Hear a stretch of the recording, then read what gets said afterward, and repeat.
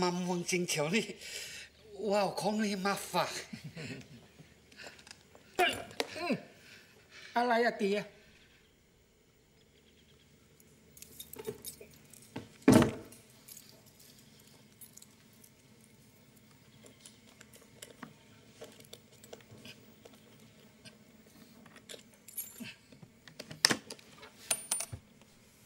แล้วกงมาหาท่านจะให้ท่านช่วยอะไรเหรอ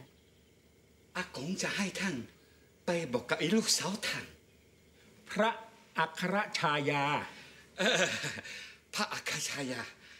ว่าอยากจะให้พระอัครชายาช่วยบอกกับพ่ออยู่หัวว่า ว่ามีปุงใหญ่มาจากเมืองจริง จะขายให้ท่านถ้าพระอัครชายาลูกสาวท่านพูดกับพ่ออยู่หัว มันก็จะสำเร็จ